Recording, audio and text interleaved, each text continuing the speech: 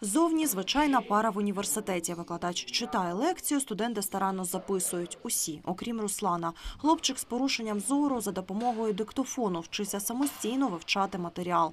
Зізнається, спочатку було складно, але потім пристосувався. Мені дуже подобається навчатися. Спочатку, перший місяць, я мені було важкувато адаптуватися. Щось треба е, більш детальніше, чи там е, чи вникнути в сам в саму тему, чи в сам процес. Го- Головне бажання. Руслан не відчуває себе іншим, і це головне завдання інклюзії. Він разом з іншими студентами навчається в загальному освітньому середовищі.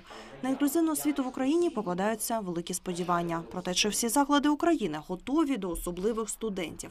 Ми вирішили проінспектувати один зі столичних вишів, який вважається провідним в інклюзивній освіті. Що здивувало одразу, це спеціальні пантуси для колясочників, відсутність будь-яких бар'єрів, ліфти зі звуком. а також спеціальні аудиторії та програми для студентів з порушенням слуху та зору. Встановлені також звукові програми, які дозволяють працювати людям з відсутністю зору за. 8021576. Такі книжки дитячі вони дуже цікаві тим, що з малюнками є і шрифт Брайля. У нас тут, ну, наприклад, ось можна потрогати, яка лисичка. Нові знання Наталка дізнається завдяки перекладачу жестової мови, який разом з викладачем проводить урок в класі для дітей з порушенням слуху. Раніше, коли я сюди вступала, я думала, мені буде дуже складно. З одногрупниками в нас склалися хороші стосунки. Пристосовуються до колективу не тільки учні, а й викладачі. Після п'яти років самостійного опанування мов програмування Михайло вирішив продовжити навчання, але тепер вже своїм прикладом навчає інших. Я им рассказываю на проекторе, на слайдах и показываю на своем примере. Попросил проводить в компактную аудиторию, и поэтому меня хорошо слышно.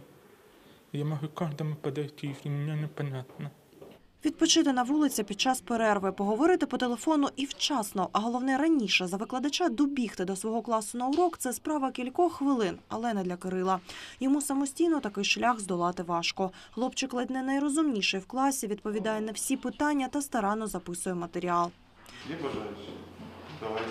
Регулювання, е, знову ж таки, міжнародних е, відносин у сфері співпрацювання з е, міжнародними країнами. доставляет огромную радость, что хоть что-нибудь придумано, продумано для облегчения жизни людей с инвалидностью. Они не замечают, что я человек с ограниченными возможностями, я себя таким не считаю. Наша знімальна група вирішила провести експеримент. Ми запитали у студентів та учнів, що вони знають про інклюзивну освіту. На жаль, лише декілька з них дали нам аргументовану відповідь. А от інші Про какое образование? Про обучение, про инклюзивное или как вы сказали? Да, инклюзивное. То есть ничего не слышал раньше до этого? Не, ну по этому поводу я вообще не могу дать никакого комментария, потому что я ничего не знаю. За п'ять років війни в Україні кількість людей з інвалідністю збільшилася на декілька тисяч, і питання їх соціалізації надзвичайно актуальне. Проте за офіційною статистикою більшість студентів з інвалідністю навчаються все ж таки у державних вишах, і тільки 27% з них навчаються у різноманітних приватних навчальних закладах.